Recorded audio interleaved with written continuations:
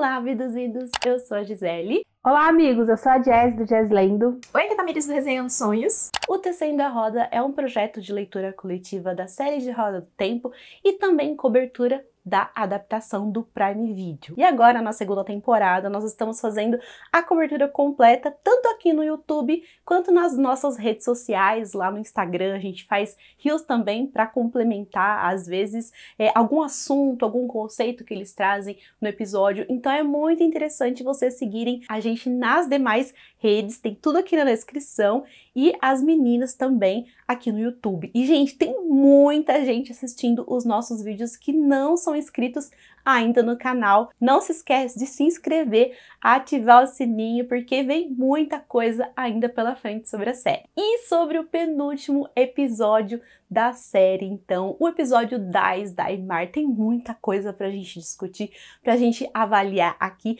Esse é um episódio que divide um pouquinho as opiniões. Ele agrada principalmente aquele público ali que não vem dos livros, porque apresenta muitas mudanças. Agora, se essas mudanças elas fazem sentido para a história como um todo, a gente vai destrinchar tudo aqui agora nesse vídeo. Foi um episódio que mostrou um pouquinho aí de cada personagem, aonde é que tá todo mundo, para onde eles estão se encaminhando.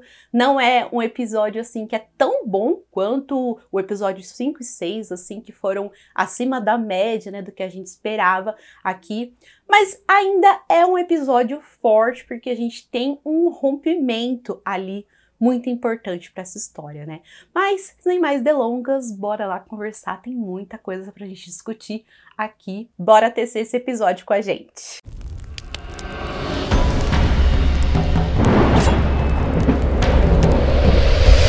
O episódio começa com um flashback de 20 anos antes, onde a Moraine e a Siwan estão ali conversando bem namoradinhas. A Guerra Yel acabou e a Siwan tá querendo visitar a mas ela tá ali um pouco preocupada, porque durante a guerra ela passou muito tempo ali. Além de uma Siwan preocupada, a gente também vê uma Moraine muito feliz, animada, com brilho nos olhos. Uma Moraine que a gente não viu aí nessas duas últimas temporadas. Elas estão juntas ali, indo ver a agitar a Sedai e quando elas entram ali para conversar com essa, com essa Sedai, ela começa a ter uma visão sobre o dragão renascido. Isso muda um pouco nos livros, porque nos livros a Moraine e a Siwan ainda são aceitas, né? Elas estariam vestindo branco. Aqui já dá para ver que elas já são a Sedai porque elas já escolheram a Aja Azul. O legal dessa cena é ver o paralelo sobre a Gitária falando sobre o nascimento do dragão renascido, ao mesmo tempo que a gente tem o flashback do dragão renascido nascendo que a gente viu lá na primeira temporada. Os mesmos movimentos que Ariel faz de dor, a Gitária também faz enquanto ela está tendo a visão.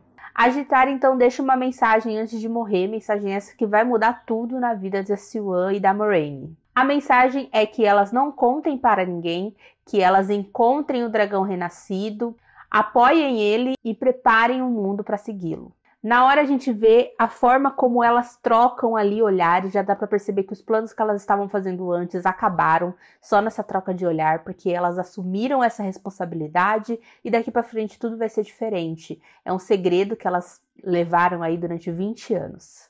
Esse flashback foi muito bom pra gente compreender bastante a Moraine, principalmente. Nos dias atuais da série, a gente vai ver a Moraine, então, chegando pra encontrar a Siwan. E a Siwan tá puta, porque a Moraine não contou nada pra ela, né? Não falou nesses seis meses que ela tava, né, estancada ali. E a Moraine também não tá feliz e fica perguntando o que que o Lan, boca de sacola, contou pra ela. E o Lan, aparentemente, contou absolutamente tudo. Sobre ela querer passar o vínculo dele pra Lana, sobre o dragão renascido. Abriu a boca geral. Então é aquele momento, assim, de confronto da das duas. E aí fica aquela pergunta no ar, que é uma coisa que a gente comentou também no último episódio, né? Quando a gente viu ali ela escrevendo a carta e aquele questionamento: pô, mas você não falou pra Siwan o que tinha acontecido? E ela não falou por quê? Porque ela não confiava na Siwan, o que talvez tenha sido corroborado aí por parte do resultado desse episódio, né? Porque no episódio passado podia ser só uma coisa dela estar tá, talvez até um pouco envergonhada com aquilo, mas parece que a situação era um pouquinho mais complicada do que isso mesmo. Aí a gente vai ter um momento do Lan conversando com a mãe Raine, onde eles vão ficar sozinhos, e aí ele vai dizer que ele quer fazer uma pergunta para ela, muito importante, que é se em algum momento daqueles meses ali, depois que o Ishamael tirou os poderes dela, né, impediu ela de tocar a fonte. E ela pensou em se matar, em tirar a vida dela. E ela fica puta, porque como assim? Que aquilo não é sobre ela, que aquilo é sobre o dever, sobre o destino do mundo. Isso é mais um reforço dessa sona aqui, né, da Moiraine, que é trabalhada ao longo da série, que ao mesmo tempo em que ela tem sentimentos e ela sofre muito com, por exemplo, essa perda do poder dela, o fato de ela ficar afastada da Siwan, ou até esses contatos que a gente viu com a família dela aqui, ela colocou na cabeça dela que ela serve a um propósito maior e nada vai desviar ela desse propósito. E aí o curiosamente, também vai comentar ali que registros encontrados na torre, somente outras duas mulheres passaram por algo semelhante do que a Moiraine supostamente ali estava passando, sobreviveram, né? Não, não tiraram suas vidas. Lan segue claramente frustrado ali com o fato de que a Moiraine não se abre, né? Ele inclusive fala que se não vai compartilhar o fardo com ele, vai ter que compartilhar com a Siwan. É uma situação que, como eu já mencionei, na cabeça da Moiraine funciona de um outro jeito e novamente essas dúvidas dela acabaram se solidificando ali com o que a gente tem no decorrer desse episódio. E a gente volta a falar da Moiraine, da Siwan e do Lan quando a gente alcançar aqui o arco do Range, porque as coisas vão começar a se misturar agora. Agora a gente vai falar sobre o Matt, que tá ali zanzando em portão da frente, tá meio sem rumo, não sabe o que fazer. Então, depois que ele deixou o Range esperando, e coitado, alguém chega e bate, né, na cabeça dele, e quando ele acorda, ele já está em Falme com Alan Fear ali para recepcionar ele, né? E algumas coisas sobre o que aconteceu ali. Primeiro que é, esse lugar que ele está é o mesmo lugar que a gente viu é, uma vez o Ishamael e Alan Fear em Telarariod, é um, parece ser um quarto ali, onde tem os demais selos dos outros amaldiçoados, né? Então, se quebrar, talvez ali eles podem se libertar. É, segundo que eu achei um tanto abrupto a forma como ele foi levado. De forma geral, aqui a gente vai ver eu acho que o arco do Matt na temporada ficou devendo. Eu entendo que o arco dele fica devendo ali na primeira temporada devido à troca de ator. E aqui a gente não teve esse problema, a gente já tinha um ator aqui disponível, um ator, aliás, muito bom, que casou perfeitamente com o personagem, que é carismático, tem ali o humor que o personagem impede, mas eu sinto que eles não estão aproveitando muito bem ele, sabe? Estão usando alguns recursos meio estranhos, sabe? Então eu imaginava que ele fosse viajar até Falme de outra forma, né? E não dessa forma como aconteceu. E aí eu vou explicar uma coisa para vocês com relação a essas viagens. Como que o Matt ele apaga e acorda em Falme, como que a Lanfear, ela tá em todos os lugares, ela tá em Falme, daqui a pouco ela já tá em Portão da Frente de novo. E esse não é um Deus ex machina, nem um teletransporte.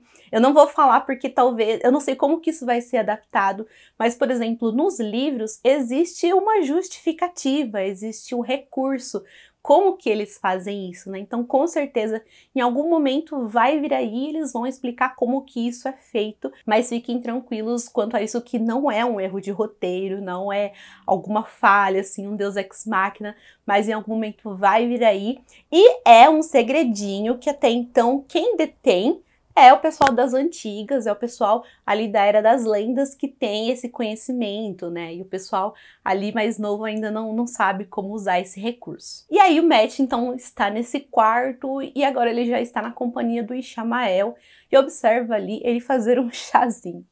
O Shamael, ele tá doido para fazer o seu monólogo, para fazer as suas palestrinhas, mas o Matt, ele não tá muito interessado. Ele fica dando ali os cortes dele, né? Ele chega, inclusive, a perguntar pro Ishamael se aquela ceninha é algo de cunho sexual ou é para matar ele.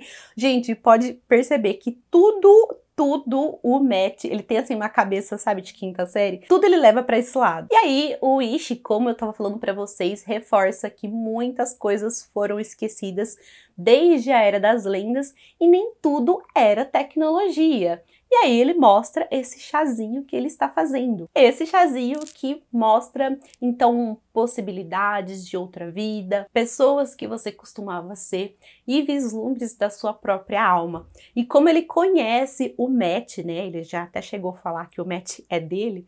Né, ele sabe que o Matt tá bravo com a situação, que ele quer saber, sabe que ele quer tomar as rédeas então da própria vida e ele dá ali um tempinho para ele, 15 minutinhos, então ele tem para escolher se ele quer ou não tomar, experimentar esse chá e experimentar essa vivência, seja lá do que quer que aconteça aí. O que a gente pega sobre essas visões? A gente pega várias imagens distorcidas e um rolê meio confuso. Uma dessas imagens é a mãe do Matt falando para ele como ele. Isso quer dizer que, ela estava comparando ele com o pai? Ele o vê pendurado no espelho, que inclusive é uma cena bem forte. Ele também vê alguém se afogando, que parece ser o Padam Fine. Outra cena é ele que está no lugar do Fine, sendo afogado por alguém. Também vemos uma mulher quebrando o pescoço da outra, aparentemente, né? É interessante a gente prestar atenção em tudo, em todas essas pequenas, essas pequenas imagens que apareceram, porque podem ser sim vislumbres do que está por vir. Ele fica ali desesperado pedindo para parar até o momento que ele se vê no chão com a mãe e depois a mãe é ele, uma loucura. Essa cena foi um surto.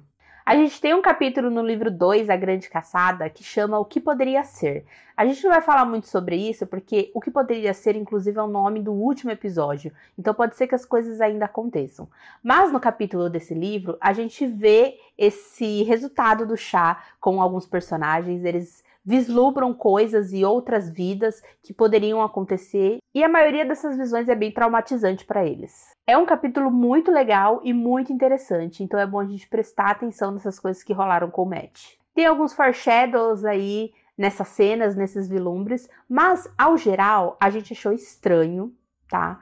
E um pouco de mau gosto. O médico vai acordar, o Shabael vai estar ali fazendo um carinho nele, porque o Shabael tá tirando o tempo dele pra palpar a galera, pra fazer carinho. Ele vai começar com o papo dele, que ele, tá, ele o Shabael gosta muito de exercer o poder da palavra. Ele tá sempre falando alguma coisa que a gente não entende. E aqui ele fala sobre o girar da roda e de como, mesmo que a gente receba, né, ao fim do girar da roda de cada um, a maior liberdade possível, que é a morte, a gente segue voltando. A gente segue renascendo e segue buscando a vida. E tudo o que ele quer é um dia poder fechar os olhos dele e nunca mais abrir novamente.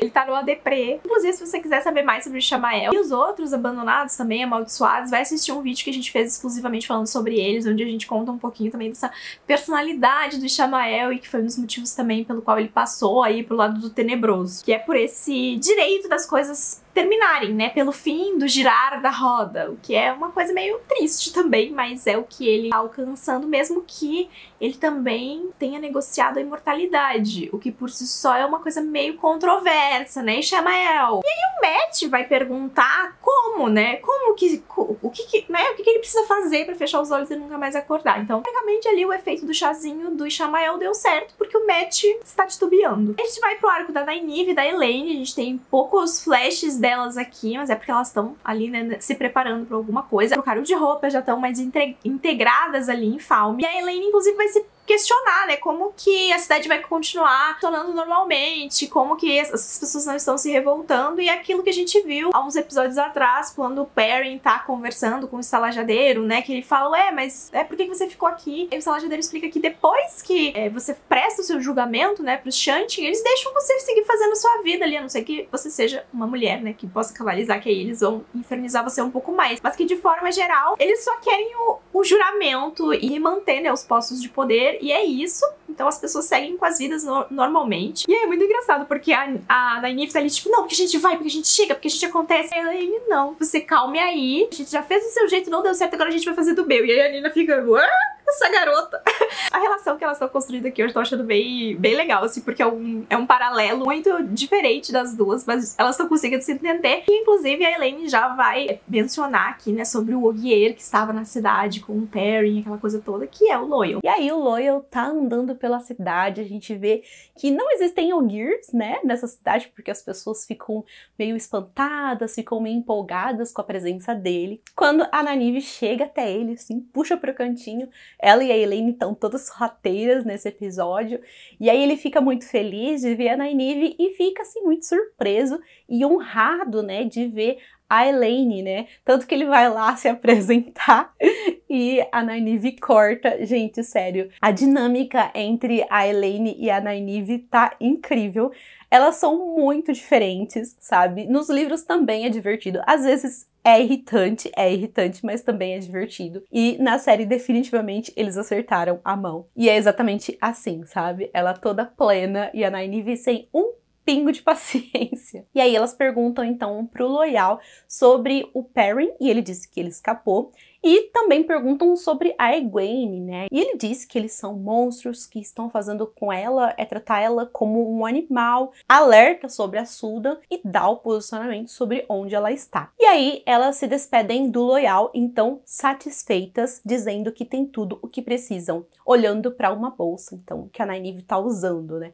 Provavelmente é o Adam, então que está nessa bolsa e o plano está em andamento. E colocando esse plano em prática, elas começam a seguir uma Sudan. E aí elas conseguem distrair ela enquanto a Nynaeve vai lá em colera então a Sudan com o Adam. A Elaine vai lá e ainda nocauteia ela. Essa cena é muito boa. Ou seja, a Sudan agora virou uma Damani bebendo do próprio veneno e com certeza vai participar desse plano aí na soltura da Egwene. Gente, eu tô muito, muito ansiosa por o que está por vir desse arco, meu Deus. E agora, no arco da Egwene, ela que continua no seu treinamento, então, como Damani. Ela tá ali no espaço aberto, onde eles estão fazendo alguns testes, né, com as Damani. Tem uma Sudan ali na liderança e ela fala de Sudan para Sudan, né, como se as Damani fossem só um, uma arma mesmo. E a Rena continua ali tentando uma aproximação com a Egwene dizendo que elas vão fazer esse teste juntas. A líder então pergunta como que a Rena nomeou a Adamani dela e ela diz que deixou ela ficar com um nome próprio que é Egwene. Nos livros, ela chega a dar sim outro nome para ela. Aqui, a Rena quer que a Egwene atinja o seu maior potencial, não importa as consequências, ela quer que a Egwene dê o seu melhor. Quando a Egun começa a canalizar, dá para perceber que esse processo ainda é uma tortura, porque é como se tivesse sendo tirado dela esse poder, sendo transferido ali para Rena. A extensão do poder da Egwene é muito grande. A gente ouviu bastante falar sobre a Nynaeve, sobre como ela é poderosa nessas temporadas. Mas a Egwene também é uma das mais poderosas. A Egwene libera esse poder, a gente consegue ver a Sudan voando, o que foi particularmente muito legal. Mas fiquei com dó ali das outras Damanes que voaram também. E foi tão forte esse impacto, esse poder dela, que o pessoal de Falme conseguiu sentir lá da cidade. Essa cena foi foda, foi muito legal ver o tamanho do poder da Egwene e dá para perceber o ódio dela. Ela canaliza com ódio, é tirado isso dela com raiva e dá para ver o que essa raiva faz com o poder dela. E depois isso fica ainda mais claro na próxima cena, em que a Rena tá toda carinhosa ali, acreditando que a Egwene na verdade cedeu. Mas não, ela estava com raiva e ela ainda está com raiva e muito sangue no olho. A Rena começa a limpar ela ali e explica para ela que só vão vencer a última batalha se todas se unirem. Eles precisam se unir ali.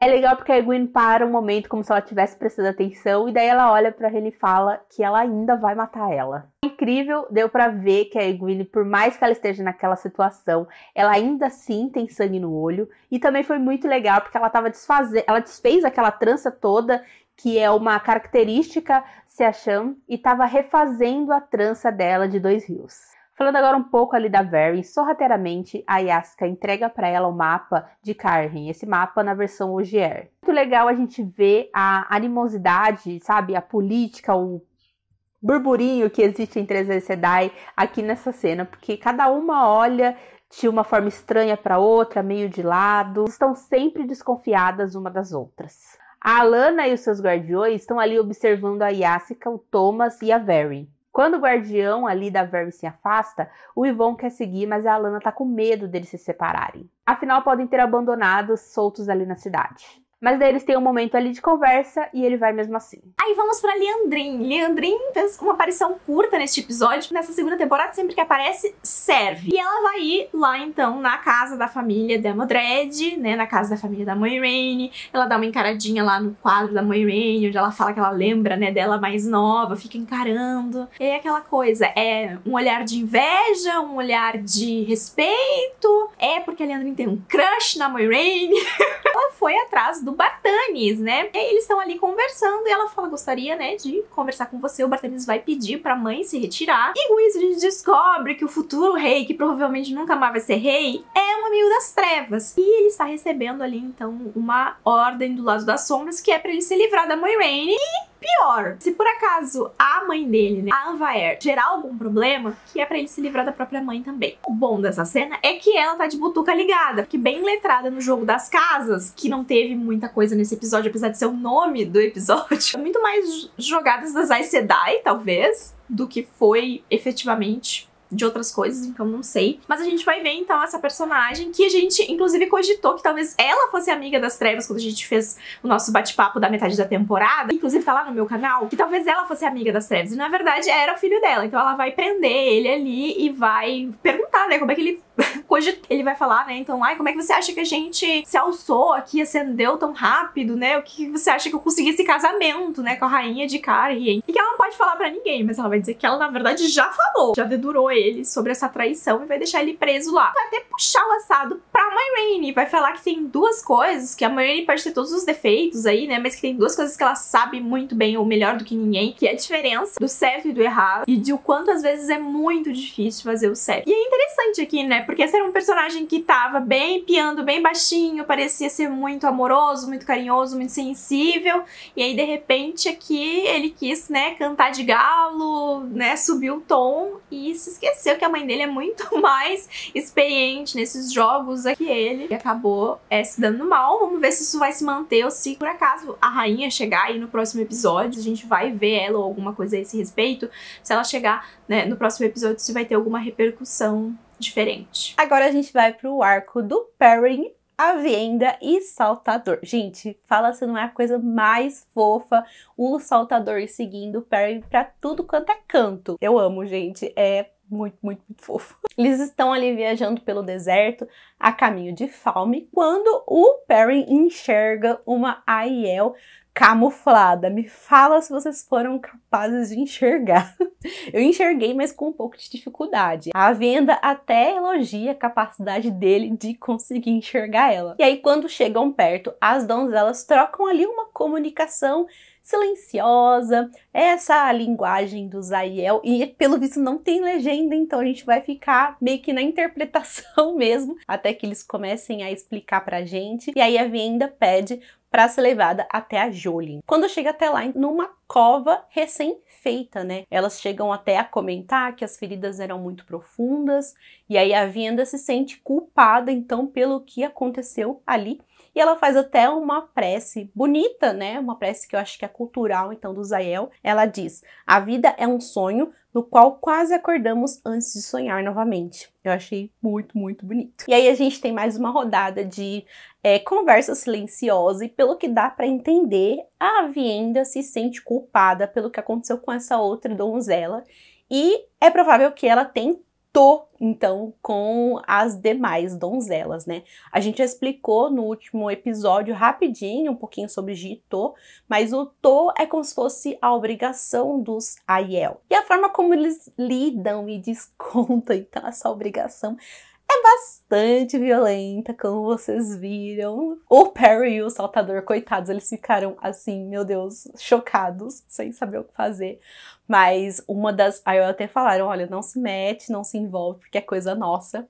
E é isso. E aí, depois, então, que tudo acontece, a venda vai explicar que realmente ela tinha uma culpa ali no que aconteceu com a outra, a. E na conversa, ela questiona sobre o anel do Perry e se isso significa que ele não pode se deitar com outra mulher, porque provavelmente uma das amigas dela vão ficar chateadas, né?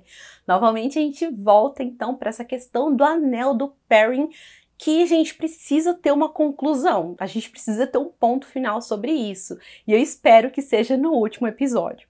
E aí a gente encerra esse arco quando eles finalmente chegam ali em Falme, eles avistam então o mar e eles ficam chocados, né? Porque elas nunca tinham visto tanta água assim. É uma cena muito legal. Vamos falar sobre o nosso dragão renascido. O Range tá ali inquieto, ele tá esperando para falar com a Sylvan e ele tá com muito medo de ser amansado. Na melhor aparição dele da temporada, o Lan dá alguns conselhos ali pro Range, como se portar, como se vestir. Eles também acabam discutindo porque o Lan fala pro Range que ele foi egoísta ao fugir ali do olho do mundo, porque ele nasceu para proteger todas as pessoas do mundo, não só os amigos, as pessoas que ele ama. Também que se o Lan é uma boa pessoa, que ela tem uma origem humilde. Uma hora que o Lan vai ali tentar tirar a espada do Range e automaticamente ele se defende E foi pouca coisa, mas talvez tenha dado um pouco de esperanças pra gente de que em algum momento, em algum lugar, o Randy está treinando. O Lan percebe isso e aconselha o Randy a usar a postura gato cruza o pátio quando ele for ali conhecer a Siwan mantendo ali as costas eretas e os braços relaxados. Isso dá uma relaxada ali no Randy, porque pelo menos nos livros, a Moraine e o Lan são pessoas que ajudam o tempo todo e são mentores para o Randy. Então, apesar de eles se desentenderem, no livro o Lan ajuda bastante ele, ensina bastante coisa para ele, principalmente a lutar com a espada, que é uma coisa que sem dúvida nenhuma faltou aqui na série. Logo que ele entra ali para conversar com a Silvan, ela já percebe que o Lan preparou ele e diz que no mundo é importante a gente guardar algumas verdades. Mas que tem perguntas para ele e espera que ele diga a verdade mesmo assim. É legal porque essa estrutura que a Silvan tá deixa ela de cima, né? Como se ela, se ela olhasse o range de cima. E o jogo de câmeras também dá a entender que ela tá superior, que ela é superior a ele e que ela tá olhando ele de cima. Silwan então vai iniciar esse bate-papo e vai começar perguntando para ele se ele tá canalizando. E ele vai dizer que somente de forma involuntária, né? Que ele querendo, efetivamente, foram pouquíssimas vezes. Ela vai dizer que isso é inevitável, né? Que é, é da natureza dele canalizar. E que se ele não aprender a controlar esse poder, ele não vai viver o suficiente para lidar com uma loucura ali dessa mácula, né? E aí o Randy vai ficar meio tipo, tá, essas são as minhas duas escolhas, então, ou eu morro ou eu fico doido. E que ele já tá cansado de ser uma peça da roda. Tadinho, tadinho. Temporada 2, aqui equivalências a livro 2 de 14. É, a série vai ser 8, né? É o que tá programado aí, mas ele já tá reclamando agora que ele tá sendo jogado de um lado pro outro. Imagina mais pra frente como é que ele vai estar tá rançoso. Enfim. E aí esse One vai dar aquela frase que a gente já viu, já tinha visto no trailer, né? Que ele não é só uma peça da roda, né? Que na verdade ele é a água que tá fazendo essa roda girar. E ela vai perguntar pro Randy o que, que ele acha que vai acontecer. E ele fala que ele acha que ele vai ser estancado. Ela ri, né, dele. Como é que a gente vai estancar você se a gente precisa que você lute a última batalha? Então não, não é isso que vai acontecer, apesar, né, que muitas irmãs vermelhas dela gostariam que acontecesse. E o que foi pré-decidido ali para quando o dragão surgisse é que o certo seria que elas prendessem ele blindado deixassem ele canalizar só quando elas quisessem, para o propósito que elas quisessem, e na batalha final ele seria um soldado, né, uma arma delas, e não o seu general. E o Randy não vai gostar muito dessa conversa, ele vai dizer que não é uma conversa, na verdade que ela já tomou a decisão, vai começar ali a canalizar, e a Siwan muito rapidamente já vai devolver e colocar ali, né, o escudo contra o poder dele. Já vai rir na cara dele, falar, olha, seis meses que você sabe que você é o dragão renascido, você não aprendeu nada, você tá tá fraco, você não sabe controlar esse poder gigante que você tem, que seria muito melhor se ele estivesse lidando com uma menina, né? E o interessante aqui é que a Sarah corta e vai dar de cara com a Egwene. Com certeza seria muito mais dedicada em aprender e muito mais complacente com todas as coisas, né? Que eu acho que vale fazer um comparativo, que é uma lógica muito engraçada essa da torre, né? Porque o Range tem que aprender a controlar o poder dele. Pra ele aprender, ele precisa canalizar. Ao canalizar, ele vai enlouquecendo. Mas o que elas dizem é que elas vão deixar ele blindado e só tirar a blindagem para ensinar ele. Mas pra ele aprender, ele precisaria de bastante aprendizado, né? Bastante tempo analisando, bastante momentos dessa experiência. E quanto mais ele canaliza, mais forte ele vai ficando e mais louco ele vai ficando também. Então ele vai ficando doido, revoltado ou submisso e elas vão tratar ele como um, um animal de estimação ali. Aí vai o paralelo de uma outra galera que tá na série, que faz a mesma coisa, só que com elas. Que a torre decidiu que é o melhor pro dragão renascido é nada mais, nada menos do que uma aplicação muito semelhante semelhante ao que os Shantian fazem com as mulheres que podem canalizar. É um paralelo interessante aqui dessa diferente visão aí do poder. A Moraine também chega no salão e vê o Randy blindado. E ela pede para Siwan então tirar, né, parar com isso. E a Sylvan responde que não, que elas já tentaram do jeito delas. Até o Lan aí nessa cena começa a ficar incomodado, acho que nem ele esperava por isso, né? E a Moraine, coitada, ela começa a ficar bastante desesperada, ela começa assim praticamente desenhar a profecia da Gitara, né? Porque primeiro pro Lan, agora pra Silwan, meu Deus, ninguém entendeu nada. E ela inclusive diz, né, que as vermelhas não vão perder a oportunidade de amansar o Randy quando colocarem as mãos nele, né? Da mesma forma que aconteceu com o Logan. A Leandrinha, assim, na primeira oportunidade que ela teve ali, ela amansou ele, né? E a Siwa responde que não, que ela jamais vai permitir isso. E atenção que isso é muito importante. A Moraine diz para Siwa que ela está cercada por inimigas. Lembra das animosidades entre a e Sedai? O clima estranho quando o trono não está ali na torre, porque as pessoas ficam se perguntando aonde ela está. Lá na primeira temporada, Logan já jogava na cara da Sioan que a Torre Branca estava começando a ficar enfraquecida. Então são todos sinais aí que a Siwan ela precisa se atentar e se fortalecer de alguma forma e não ignorar tudo isso. E aí a Moraine diz que não esqueceu da profecia da Gitara, né? Mas por outro lado, a Moraine deveria estar com Randy pronto, guiando e controlando ele. Nesse momento a cena assim corta pro Randy e ele olha para Siwan puto da vida, tipo, meu Deus, quem que ela pensa que é para imaginar que ela pode me controlar. E aí, mais um ponto interessante dessa conversa. A Siwan ainda fala para Moraine: Você já pensou se ele cai nas mãos de um amaldiçoado?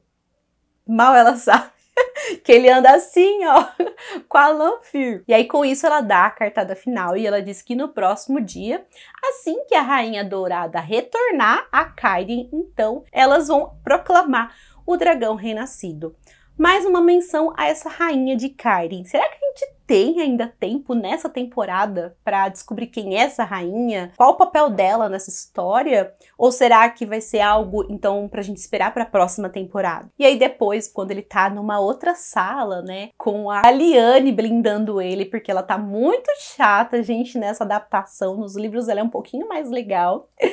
É, o Randy, ele tá todo ali cabisbaixo, abatido, né, por estar se sentindo blindado. E aí a Maureen tá ali. Gente, tem uma coisa que aconteceu assim de positivo nessa situação entre a Maureen e a Siwan foi que o Randy e a Maureen voltaram a ficar juntinhos. Mãe e filho, meu Deus, como eu amo. E eles estão unidos mais do que nunca, e eu gostei disso. E aí ele diz o que, que vai acontecer com ele, e ela diz que nada, né? Que aquela blindagem é temporária, e assim que alguém tirar, que a blindagem cair, ele vai voltar a sentir tudo normalmente. E aí a Moraine quer saber quais eram os planos dele, onde que ele estava indo, e aí ele confessa então é, que a Egwene está em Falme, né, que o Ishamael a tem. Ele fala que os amaldiçoados querem que ele vá para lá. E a Maureen já fica assim, com os ouvidinhos em pé e fala para ele sobre uma profecia, né, sobre uma batalha nos céus, ali na ponta de Toma, sobre ele se autoproclamar lá. Então ela já começa a arquitetar tudo ali na cabeça dela. E o Randy, participando então dessa jogada, diz que se os abandonados vão fazer de tudo para ele estar em Falme, eles não vão querer que ele fique preso ali. Então pode haver uma saída corta pro Randy tirando uma sorequinha para se comunicar com a Lanfir, nossa salvadora. Me fala, você diria não para esse dragãozinho? E aí então ela vai em socorro dele e chega ali tocando o terror. Acho que ela não aguentava mais a vizinhança de portão da frente, porque ela começa por ali, né? A, a cidade ali estava tentando se reconstruir, não estava dando muito certo, ela chegou, ah não, vou destruir tudo. E é uma cena assim muito bonita de se ver, sabe? A Lanfir toda bela ali, com a roupinha dela de branco. Não chega a ser um branco, mas é uma roupa, é um quase branco, mas é uma cena que causa uma emoçãozinha, porque nos livros a Lanfir só anda de branco. Então a gente tava na expectativa de ver ela finalmente com essa roupinha, né? Então ela tá ali toda bela, maravilhosa, tocando terror, destruindo tudo, indo ao encontro do seu amado. Eu amei. Silvan, eu te entendo, porque nessa até eu seria time amaldiçoados. Lan vai ali visitar o Logan, que tá nessa temporada para ajudar todo mundo. Ninguém ajuda ele, mas toda vez que tem alguma pergunta, alguma coisa, todo mundo vai lá perguntar para ele. O Lan diz que tem algo para ele, que é uma chave. Mais promessas vazias, talvez? Que a gente tem algumas coisas importantes rolando. Aparentemente, é, o Logan consegue ver a canalização acontecendo, mesmo que ele não consiga mais acessar a fonte. Essa é uma diferença dos livros, porque nos livros, assim que você é amansado, que é o que aconteceu com o Logan, você não consegue mais ver a canalização. Ele viu isso no Raid duas vezes já. E daí o Lan aproveita para perguntar para ele o que ele vê na Moraine já que ele consegue enxergar as tessituras. Ele responde então que vê tramas confusas, desesperadas, que vão além da compreensão de uma mulher. O Lan provavelmente já estava pensando nisso desde quando ele conversou ali com guardiões da Lana, falando que teve várias coisas que foram perdidas depois da ruptura do mundo. Vários conhecimentos que só os abandonados têm em mãos. O Logan fala e também faz gestos ali, sinalizando que existem fios sendo mantidos no lugar. Há uma tecedura nela feita por um homem. Não tem nada sendo canalizado, mas é como um nó. Isso lembra algo para vocês? Aparentemente a resposta dele não foi suficiente, porque ele não conseguiu a chave e foi mais uma promessa que o pobre ficou sem receber. A Varen aparece ali então, falando que ela vai ficar responsável agora por manter o Range, porque a Siwan está chamando, mas na verdade é tudo balela, ela tá ali para libertar o Range. Essa parte faz a gente lembrar daquela conversa que ela teve com a Moraine lá no começo da temporada, e daí todos juntinhos eles partem. A Varen então fala do portal dos caminhos escondido na cidade que ela encontrou depois de olhar o mapa do Ogier. A Moiraine então vai falar que eles estão indo pra ponta de Toman. E a Varen automaticamente já vai entender ali que é porque ela quer que o Randy se autoproclame o dragão renascido, que faz parte aí da profecia, né, da batalha no céu e de tudo mais que a gente tá esperando ver, porque eu acho que essa é uma das questões, assim, que é uma coisa que a série, ela só, ela só trabalha essa, essa coisa da profecia muito mais com a visão, né, da editária que a gente teve abrindo o episódio e depois, essa parte das profecias, que é uma coisa muito presente nos livros, fica muito esquecido na série. E aí nessa segunda temporada eles estão trazendo um pouco disso, mas ainda tá muito vago. Nos livros tem um monte de profecias que o Range tem que cumprir para as pessoas irem acreditando que ele é o dragão renascido. De verdade, que ele é o salvador, que é a pessoa que eles estão esperando. A Lana vai aparecer aqui e vai dizer que tá fechada ali com a Moiraine, que ela vai resolver as coisas ali, a Moiraine pode ir. E aí a gente tem a primeira interação da Alana com o Randy. que para os fãs dos livros talvez fosse um momento esperado e ao mesmo tempo que dá uma coceirinha, assim, dá uma coceirinha. Eu gosto bastante dessa personagem da série, acho que vai ser interessante ver como as coisas vão progredir daqui pra frente. Inclusive, ela fala pro Range, né, que ela espera que ele vale a pena. A gente tem uma cena aqui bem bonita, que não tá exatamente dentro do arco do Range, mas acho que vale a menção, que é a Silwana, enquanto o trono de Amerlin na frente ali de outras Aes Sedai, ela pede pra elas linkarem, né, pra ela canalizar e fazer chover, porque tá queimando ali, né, que a Lanfir com um certo terror ali, que é uma cena super bonita, mas que é logo já cortado o clímax, quando o braço direito da Silwan chega e elas percebem que alguém passou a perna nelas.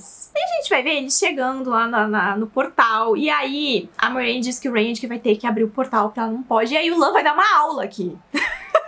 O Lan é a pessoa que mais entende de poder único na série inteira. Ele desvendou todos os mistérios. Ele que não tem acesso ao poder conseguiu desvendar coisas aqui que a Moiraine nem cogitou. E aí ele vai falar, né, sobre o que a conversa que ele teve com o Logan, sobre ele pede pro Randy olhar para a Moiraine, né, com o poder e ver o que tá ao redor dela. O Randy vai reforçar ali que é um nó. E o Lan diz que então é isso, né, que isso é uma tessitura que foi colocada ali, que não tá sendo canalizado nela, que é algo da era das lendas, né? Que era algo que poderia ser colocado no local e deixado. E é algo que se perdeu. Então, atualmente as Sedai não conseguem fazer isso. Mas o Shamael tinha esse conhecimento da era das lendas. E que agora o Range precisa cortar esse nó. A gente vai ter a cena dele ali cortando o nó. Eu, particularmente, achei todo esse rolê aí uma grande bobagem. Ah, se era pra terminar com a Moiraine recuperando os poderes desse jeito, pra quê que essa foi a conversa da temporada, sabe? Inclusive, toda o beabá, ele indo falar com alguém, depois dele explicando para eles. para mim, faria muito mais sentido se fosse o Logan explicando. E aí todo o rolê do Logan ainda poder ver o poder, sendo que tudo bem, porque poderia, né, ser o rolê dele, mas isso nem foi, né, o talento dele, mas isso nem foi trabalhado na série. Então, ah, ele não tá acessando o poder, mas ele vê o poder. Essas coisas ficam voando aqui e eu realmente achei bem fraco toda essa condução aqui. Inclusive, achei fraco também o momento em que a Moiraine pôde sentir de novo a fonte. Eu acho que a gente viu cenas muito fortes emocionais dela ao longo dessa temporada. Pra cena dela recobrando o poder ser tão opaca, tá? Então é isso. Eu fico feliz que ela tenha recuperado os poderes dela, porque, enfim, né? Chega desse papo. Mas eu achei a condição desse arco bem fraca aí ao longo da temporada, principalmente essa resolução também. E aí, com o portal aberto, a gente vai ver a Silwa chegando. Ela vai dizer pra Moiraine fechar o portal. A Moiraine vai se negar e a Silwa então vai forçar a Moiraine a cumprir a palavra dela pelo juramento. Então a gente tem uma cena aqui que é um exemplo que esse juramento, né, do, do poder que esse juramento que não é efetivamente uma coisa real, só dita da boca para fora, efetivamente tem uma grande influência aqui. Isso também vai significar a quebra confiança entre as duas e dessa relação de cumplicidade que elas tinham, porque pra Moiraine é inaceitável que a Siwa tenha usado desse artifício naquele momento contra ela. E, e temos a chegada da Lanfira, a Moiraine até vai tentar aconselhar ali a Siwa não se voltar contra ela, mas a Siwa está cheia de si. A Lanfira vai dar uns supapos nela, vai deixar ela no chão, vai falar que é melhor uma, um trono de Amerlin quebrado do que morta pra ela naquele momento. Inclusive, puxa uma referência que o próprio Chamel falou sobre a Moiraine para a Lanfear há uns episódios aí atrás. Ela, inclusive, vai avançar em cima da Moiraine, né? A Lanfear e o Range vai se botar na frente vai falar: não, não vai tocar nela, não vai tocar nela.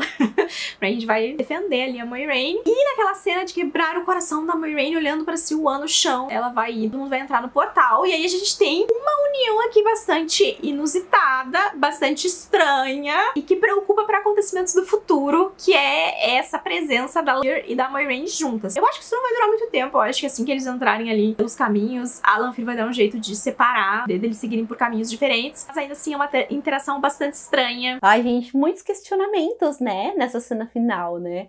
que será que vai acontecer ali com a Siwan? Porque o que aconteceu ali não vai fazer bem para a popularidade dela, porque as Aes Sedai tiveram conhecimento de que ela esteve com o dragão renascido nas mãos e perdeu ele. Então, imagina só, vai ser uma crise para ela lidar com isso. Imagina a Leandrin, gente, ficar sabendo disso. Ela vai causar muito. Outra coisa, vocês conseguem imaginar Lanfear e Moraine coexistindo ali no mesmo espaço? Eu acho que essa viagem vai dar ruim, porque a gente já viu um framezinho também. Parece que só Moraine e Lan saem ali do portal, então alguma coisa vai acontecer ali dentro. Como que o Randy vai enfrentar o Ishamel com tão pouco controle, não controle, né, mas com tão pouco conhecimento ali, né? A própria Siwan fez assim com ele. Então é mais um questionamento. A gente também tem esse plano das meninas para salvar a Egwene, espero que dê certo. E a gente também tem Perry e Matt ali em Falme. São muitas coisas para acontecer nesse último episódio. Infelizmente, a maioria das coisas que eu tenho expectativa, que eu gostaria que tivessem sido mais organizadas e distribuídas durante a temporada, ficou pro final. Isso é preocupante, porque eu acho que algumas coisas vão ficar de fora. Não tem como fazer tudo, não tem como acontecer tudo. Então eu vou segurar bastante as minhas expectativas pro último episódio. E falando desse episódio, assim, de forma geral, é, Dais Daimar, que é o nome do episódio, né, ele gerou um conflito interno aqui, porque isso significa jogo das casas, que é um jogo peculiar que acontece ali em Kairin, que envolve a nobreza. Eu confesso para vocês que quando eu vi esse título, eu achei bem, falei, gente, né, o que, que tem a ver? Porque eu não consegui entender. Agora eu entendo porque esse é um jogo inspirado na forma das Aes Sedai governarem, né? Então, é, Dais Daimar, na verdade, é o jogo das casas, na verdade, é o jogo das Aes Sedai. Essa é a minha interpretação. Porque a gente está chegando no momento de conflito da história e a gente vê a Torre Branca assim, numa grande animosidade, as pessoas não confiam uma nas outras, o que é preocupante, sabe? A, essa organização ela tinha que estar tá muito mais forte, muito mais unida. E aí, sobre o episódio em si, como eu abri o meu coração para adaptação, e tem muitas mudanças com relação aos livros, né? O próprio arco ali da Siwan, a Siwan, ela não, não trai, assim, a Moraine, elas seguem juntas até o fim, assim, em sinergia. E aqui não, né? Tem esse conflito aí de interesses.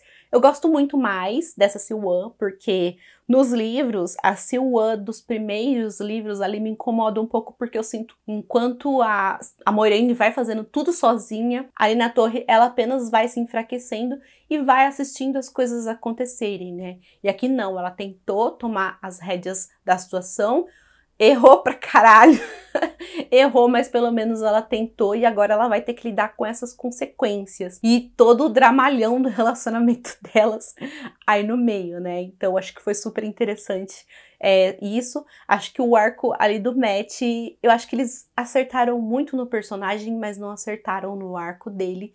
Tá muito estranho. Eu queria muito que o que os vislumbres que ele, que ele teve, tudo que ele teve, eu queria muito que tivesse sido na Pedra Portal, como a gente citou para vocês. Acho que com relação às meninas, tanto a Egwene, a Nynaeve e a Elaine, a gente teve pouco delas nesse episódio, mas o pouco que teve eu fiquei satisfeita.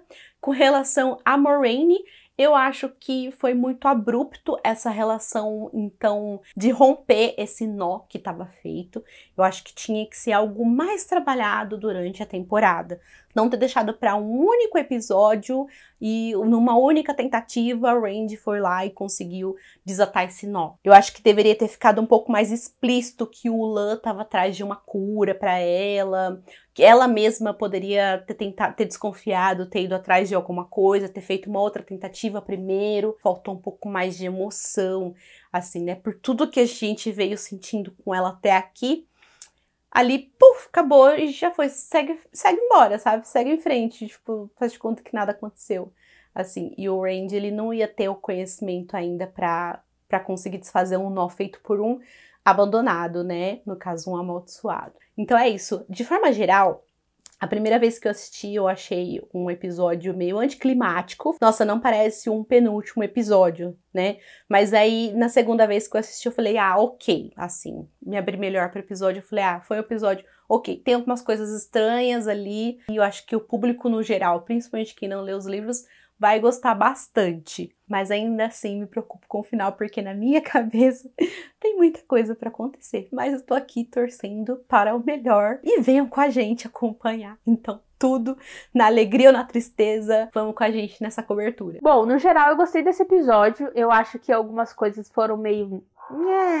Por exemplo, Finalmente, finalmente nós temos a questão Moraine resolvida, tá? E assim, eu esperava muito mais, muito mais. Para mim foi bem podre, bem xoxo esse, esse negócio de tirar. Assim, lógico que a Moraine fica com o olho brilhando, que tem um rolê ali que, nossa, finalmente estou sentindo novamente, tá, tá, tá. Só que eu esperava muito mais, amigos, tá? Eu esperava muito mais, não sei como foi para vocês. E a gente teve literalmente a temporada inteira de brigas entre Moraine e Lan, e discussões e tudo mais. E a gente não tem, não tem um rolê ali de conexão, não tem um rolê deles se resolverem de uma forma melhor. E de quando ela finalmente acessa o poder, foi assim, muito rápido e muito. Hum. A parte do Range também tenho questões, tenho questões, porque o Range, ele. para mim, pelo menos, tá? O Range só se torna o dragão renascido no quarto livro ele assume, ele, ele chama esse poder para ele a partir da Ascensão das Sombras. E aqui eu entendo que tá sendo mais devagar e tudo mais, até porque é só no quarto livro que a gente vê realmente ele ser o dragão renascido. Só que a série não vai conseguir adaptar todos os livros, então algumas coisas precisariam ser talvez um pouco mais rápidas. E o Range ainda tá muito lento, ele tá muito longe de tentar alcançar esse poder e de se firmar como o dragão renascido. E dá pra perceber isso. Quando ele tá conversando ali com a Siwan, ela dá um tapa nele de poder único e é, só uma Sedai é suficiente para subjugar ele, né? Elas levaram 14, mas só uma é suficiente para subjugar ele, porque ele ainda não acessou esse poder. Ele é poderoso, mas ele ainda não chamou esse poder para si.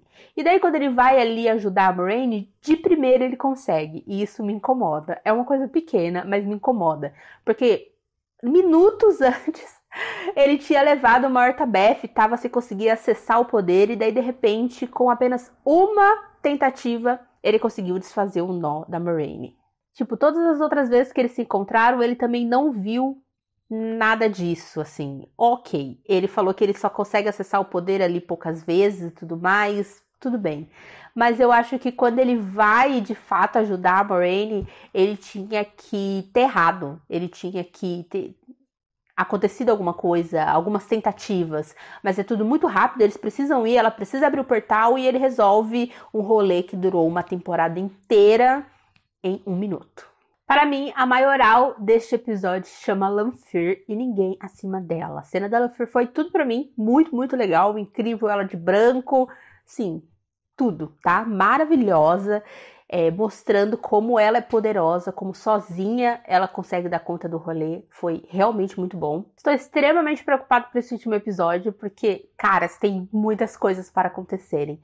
E a gente se encaminha para uma temporada acabando na correria, com, com, muitas coisas acontecendo e muitas coisas sendo deixadas de lado, assim, provavelmente. O que me deixa um pouco triste, mas também me deixa muito preocupado, porque a gente tem ainda é, um, um match para tentar se resolver ali, a gente tem a Egwene que tá bem distante, a gente tem também a Nynaeve e a Elaine tentando salvar ela ainda, será que elas vão conseguir também? A temporada vai terminar novamente com a luta Ishamael e Randy. Inclusive, nem vou comentar sobre o, sobre o rolê Lane e Nynaeve, tá? Que elas conseguem de forma muito fácil, muito fácil, subjugar ali a mulher do se achando.